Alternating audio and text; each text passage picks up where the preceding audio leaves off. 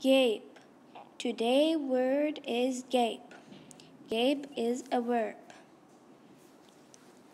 Gape means to open your mouth wide when you're surprised. For example, she gaped when she saw her house burning.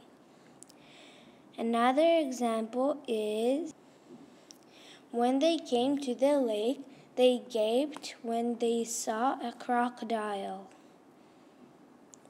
Thank you. Created by Dasha.